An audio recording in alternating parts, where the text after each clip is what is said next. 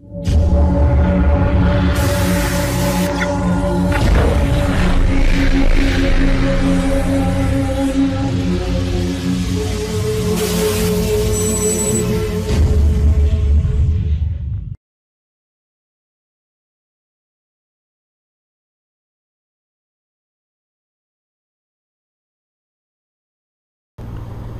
الله والصلاة والسلام على رسول الله صلى الله عليه وسلم.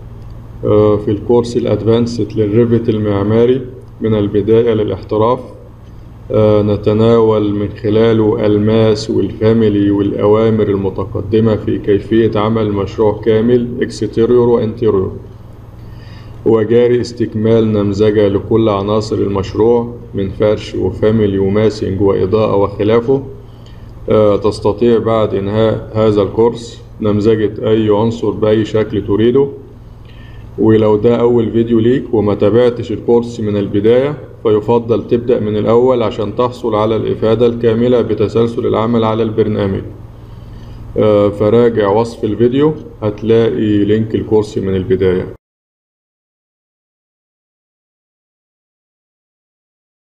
آه، هنبدأ الدرس. ال massing show mass in-place mass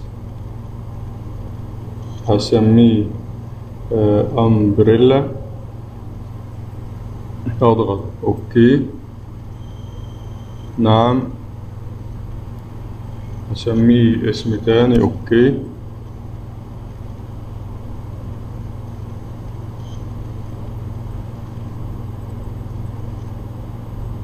افتح ground floor هرسم plane ارسم واحد هنا. أختار النقطة دي وأسحب لفوق.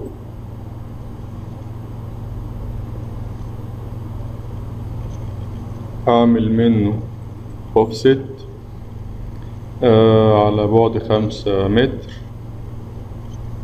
أضغط على ال line ده أعمل اوفست أربعة متر. تمام. اسحبه لأعلى. اعمل له delete اعمل اوفست تاني أو أرسم خط تاني. أعمل اوفست منه على بعد أربعة متر. أتأكد إن أنا اخترت الخط ده. أرسم line تاني في الاتجاه الآخر. أختار النقطة دي وأسحب لأعلى. أعيد تاني الخطوة مترسمش أرسم الخط الأفقي هنا.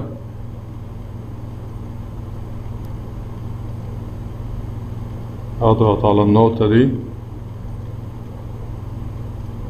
أرسم أجيب الأمر من تاني. أتأكد إن أنا مختار بلين. أرسم لاين من النقطة دي. اتجاه أفقي. بضغط على شيفت علشان يديني خط أفقي مستقيم. أعمل أوفست منه. أعمل أوفست برضو هكتب أربعة متر. أضغط على الخط ده عشان يعمل لي من أوفست. أرسم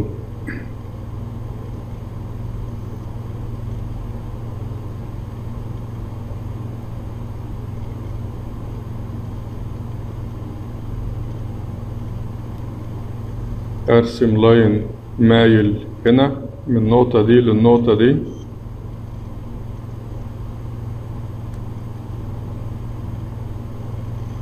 اختار النقطة دي. أرجع تاني للأمر هلغي الأوفست. اخليها بصفر واسحب من النقطة دي على زاوية خمسة وأربعين. modify أخرج من الأمر. كل ده أنا ارسم برسم plane. أختار plane وهرسم خط تاني. أرسم واحد هنا من النقطة دي واسحب خط أفقي. وهرسم واحد رأسي من ال center هنا لأعلى. دلوقتي هنعرف ليه كل الخطوط دي بنرسمها. الخطوط دي مبتظهرش معايا في الموديل كلها خطوط استرشادية. اختار ده وافتح properties واسميه. اديله اديله رقم مثلا واحد apply. هسمي كل ال- ال plane اللي أنا رسمتها. اختار التاني وأديله name أسميه اتنين. أو أي اسم أنت تفضله apply أختار التالت أسميه تلاتة apply أختار المايل وهديله رقم أربعة أربعة أبلاي أختار ده وأديه رقم خمسة. apply أختار الأخير وأديله رقم ستة أضغط عليه وأكتب ستة. apply هسمي الخط الأفقي والرأسي الأخارى اللي أنا رسمتهم. أختار ده وهسميه A A capital؟ apply. أختار التاني وأديه اسم B capital apply.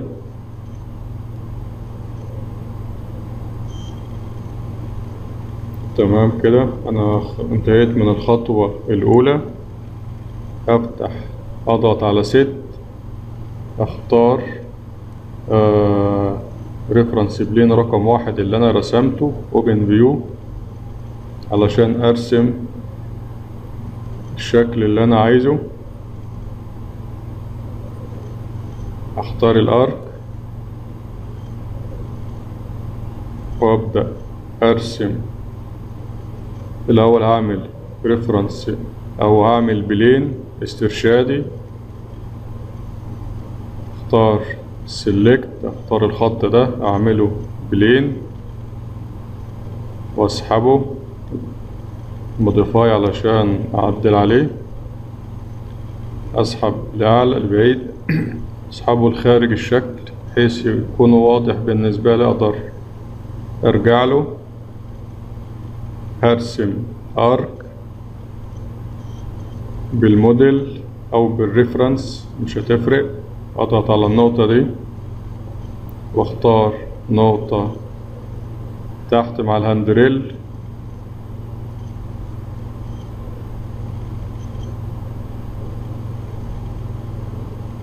تمام. أختار select وأختار reference plane رقم اتنين اللي أنا انشأته وأعلم على الشكل اللي أنا رسمته في plane رقم واحد. أكرر نفس الخطوة في reference plane رقم تلاتة. وأعلم على ده بحيث يكررهولي في نفس ال- ال plane اللي أنا شغال عليه. أختار أربعة.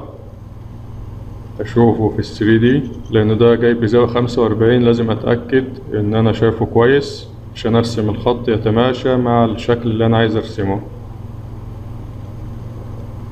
أختار رقم أربعة. أعمل show علشان أشوفه. أعمل viewer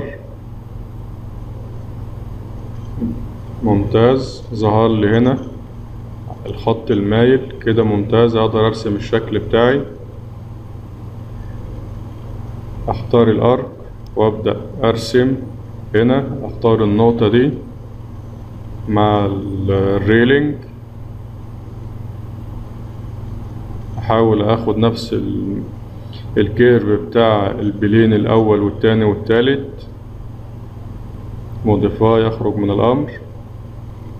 ground floor أعمل set أختار reference plane رقم آه، خمسة. okay. أعمل open view أبدأ أكرر نفس ال curve. أنا عامل view لل plane عشان أقدر أشوفه. الخطوط الزرقاء ديت أبدأ أرسم خلالها من خلالها. أختار نقطة تحت مع ال railing وأحاول أجيب نفس ال curve بالظبط. كده تمام مظبوط. أختار reference plane الأخير رقم ستة وأعمل select وأعمل نسخة منه على plane رقم ستة. أشوفه في ال 3D أتأكد إن الشكل مظبوط الخطوط ماشية مع بعضها. ممتاز خطوط متناسقة مع بعضها. أختار ال curveات اللي أنا رسمتها. الأول أختار الخط ده. ألغي الشو بتاع البلين عشان أشوف كويس. أختار الخط ده. والتاني والتالت والرابع والخامس والسادس وأضغط على create form. solid form هيرسم لي ال surface ما بينهم ممتاز. دي الخطوة الأولى اللي انتهيت منها عشان أرسم الشكل اللي أنا عايزه باستخدام ال plane. هعمل set أختار reference plane رقم E okay. Open View. أعمل show علشان أشوفه. wire frame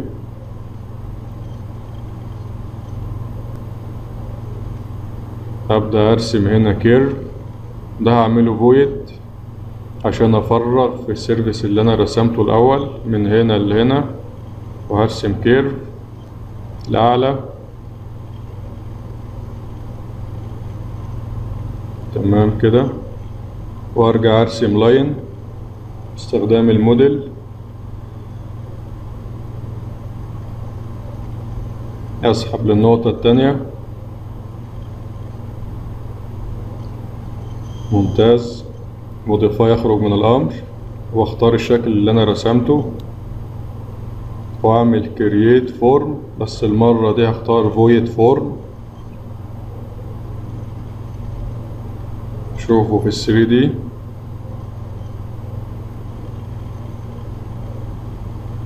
تمام. هظبط الشكل دلوقتي. هو مقطعش الشكل. مفيش مشكلة. هنتعلم إزاي ننفذ الأمر ونقطعه.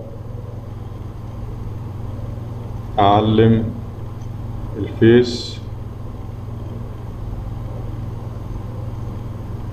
اختار ال face ده.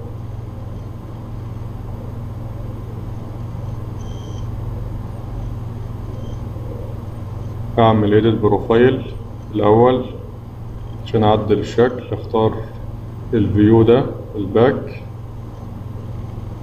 وأسحب لتحت. أو أعمل scale ليه أحاول أصغره شوية.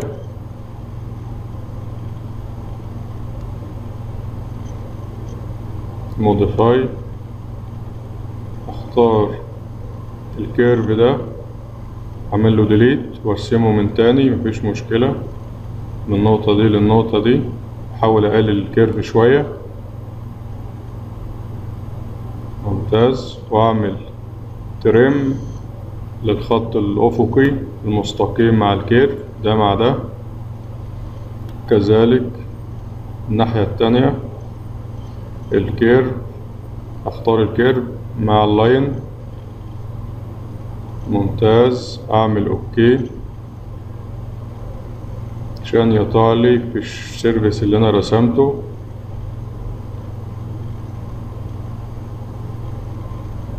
أفتح ground floor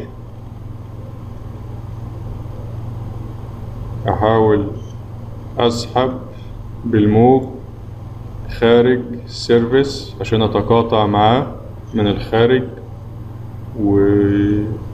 ويقطع في الشكل بتاعي. أشوف ال 3D ألاقيه قطعلي في ال surface بتاعي.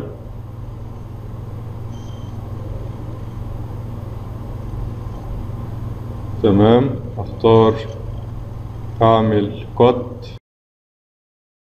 ده مع ده ممتاز قطعلي في الشكل وده اللي أنا عايزه هكرر نفس الخطوة ناحية المدخل التاني هفتح ground floor اعمل set واختار reference plane رقم B okay open view أبدأ أرسم ال curve بتاعي اللي عايزه يتقاطع مع الشكل. أختار ال arc. أختار النقطة دي والنقطة دي وأسحب لأعلى وأرسم ال curve بتاعي. أرسم line. من النقطة دي أتأكد إن أنا لمست النقطة يتقاطع مع النقطة التانية بحيث ما يحصلش مشكلة والشكل يبقى متكامل. هعرف أعمل له create form modify أختار الشكل وأعمل له create form void form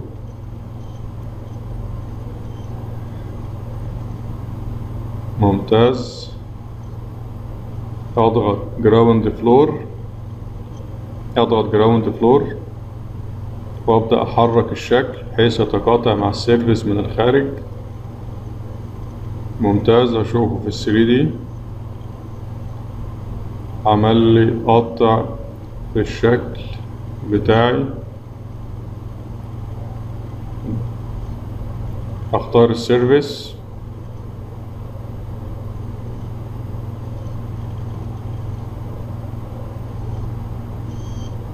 ممتاز.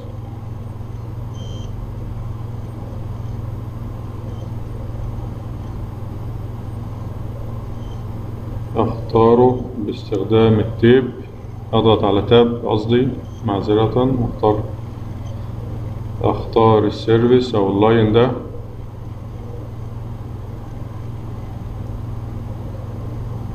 أضغط tab لحد ما أختار. أجيب الأول الواجهة عايز أظبط ال line ده مع ال handrail. بضغط tab لحد ما أختار ال line فقط. أعمل X-ray دلوقتي هسحب من النقط وأعدل في الشكل. هرجع تاني للأمر مفيش مشكلة هختاره. لازم أختار line علشان اضغط اعمل له X-ray ما أختارش ال surface. بضغط tab لحد ما أختاره. tab لحد ما أختار ال line. دلوقتي شغال على X-ray علشان أعدل الحدود الخارجية للشكل بتاعي. أقدر أسحب من أي نقطة وأعدلها زي ما أنا عايز. اختار تاني ال line ده. أضغط tab لحد ما أختاره. ال surface لما بختار ال surface ال X-ray ما بتكونش مفعلة. لازم أتأكد إن أنا مختار ال line.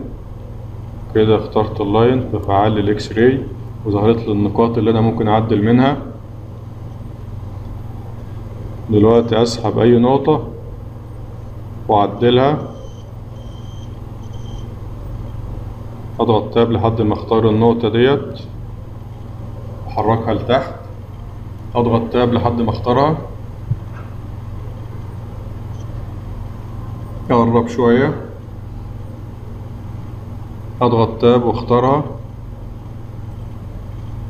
وأسحبها لتحت ظهرت لي الأسهم الاتجاهات أقدر أسحب لتحت لحد ما أظبطها مع الريلينج اللي أنا ممتاز. اغير الواجهة التانية بحيث اتأكد إن ال surface حدوده مظبوطة مع ال مع ال railing بتاعي أسحب لتحت.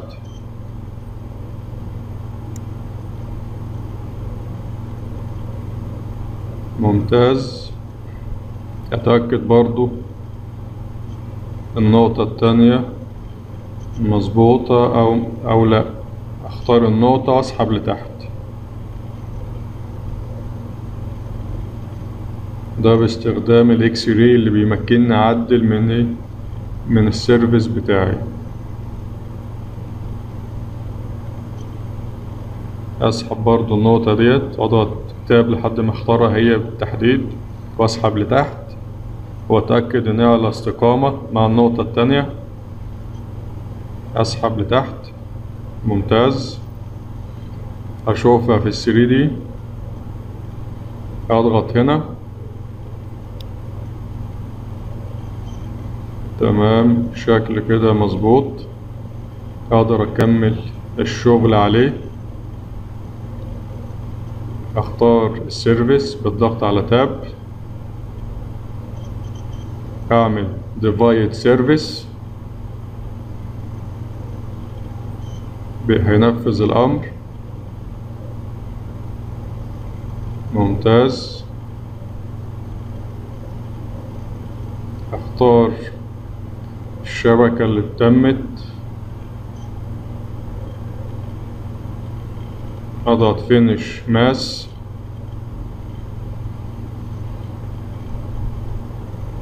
أقفل ال window اللي ظهرت. ممتاز كده. ده اللي أنا عايزه ده الشكل اللي أنا عايز أعمله مظلة. أضغط massing site وأختار ال wall وأضغط هنا. هيحول لي هيرسم لي wall على ال surface اللي أنا رسمته بال mass. هفتح. هعمل show mass بحيث يخفي لي ال mass ويظهر لي فقط الحيطة اللي أنا رسمتها. أختار ال wall دي. أنا عايز أختار ال wall اللي أنا رسمتها على ال mass اللي أنا رسمتها.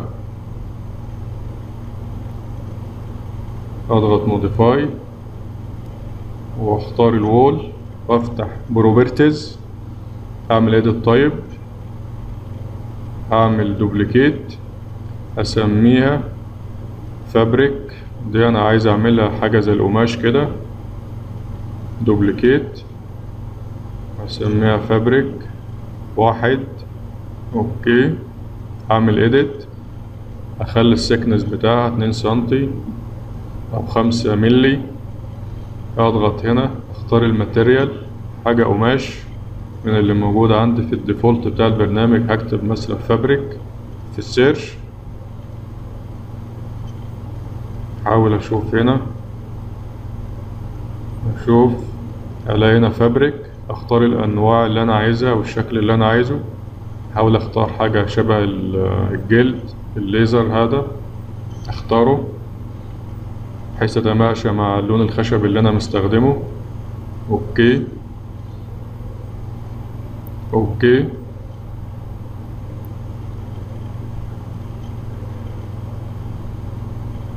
ممتاز.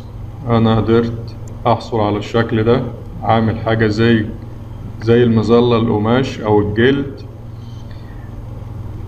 في الجزء الخارجي للمطعم اللي أنا شغال عليه في المشروع بتاعي باستخدام ال mass وعن طريق إن أنا رسمت عليه wall اديتها thickness خمسة ملي كسمك للجلد.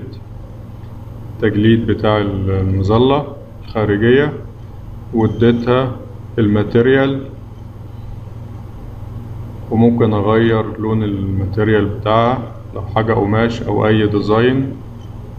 عندك على